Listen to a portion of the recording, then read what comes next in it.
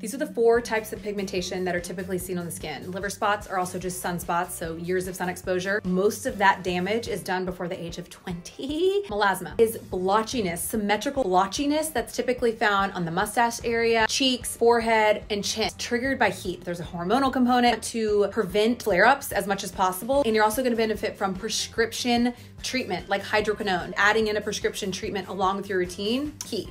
Freckles. Just like with age spots, both are a sign of UV damage. The lighter your skin tone is, the more likely you are to get both. So make sure you get regular skin checks. Acne marks. This is called post-inflammatory hyperpigmentation. This also refers to trauma on the skin, like a burn or a scratch, causing inflammation, which is telling the body, hey, I need some help and it's bringing a lot of help, which is then potentially leave a lingering mark. There are different targeted treatments that you can do for different types of pigmentation. However, SPF is your BFF. And you also wanna do things like accelerate cellular turnover with retinoids. You want to exfoliate the skin so that your skincare products can actually penetrate. And then anytime you have any type of trauma or damage to the skin, using Aquaphor or Vaseline to prevent that from scabbing is key. And then also just keeping it completely covered from the sun. If you have any type of pigmentation or if you're wanting to prevent pigmentation, you've got to use the SPF. This is just key to prevent it and also to prevent it from worsening. You're never too old or too far gone to use SPF.